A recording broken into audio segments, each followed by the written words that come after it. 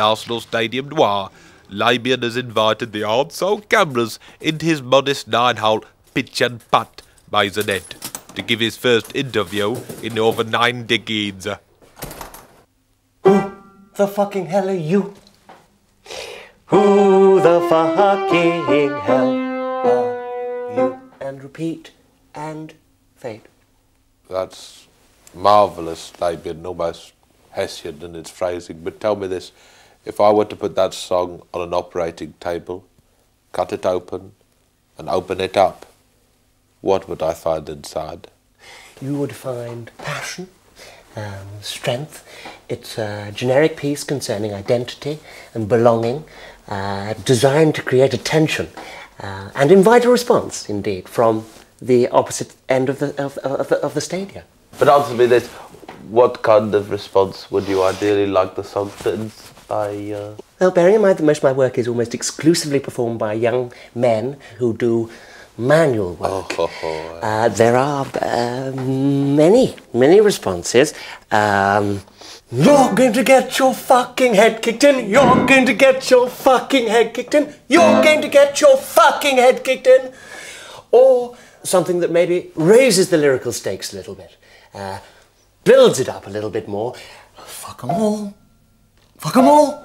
United West Ham Liverpool. Because we are the Arsenal. We are the best. We are the Arsenal. Now fuck off the rest. Fuck 'em all. Do you see? I love the work. It's like Labian Quest is neither an agent no, nor love a publisher, love to. When is the preferring a hands-in approach to business, Saturday week, which allows him to tailor his work precisely to his client's needs. And what's what's the general sentiment you'd like the piece to convey? General poverty, bad housing, lovely, and a focus on poor diet. How fabulous. Okay, well, how about 8.30ish? Tuesday. Give you time to learn it. Okay, bye-bye. Bye-bye now. In your Everton slums, in your Everton slums, look in the dustbin for something to eat. You find a dead cat and you think it's a treat, treat, treat, treat.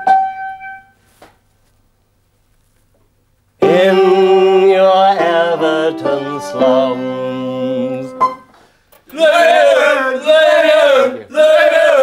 so Labian Quest, how would you like history to remember you? Well, fondly, I, I, I hope, um, possibly in a bobble hat. Um, I suppose I am in the unique position of being an unsung hero and at the same time a, a, a sung hero. One more for the road? No. Come on. We've heard enough. Come on, Merlin. Stop it! Labian Quest. Next on Arts Hole, we hand over to resident television columnist The Quill, who has the irritating habit of referring to himself in the third person.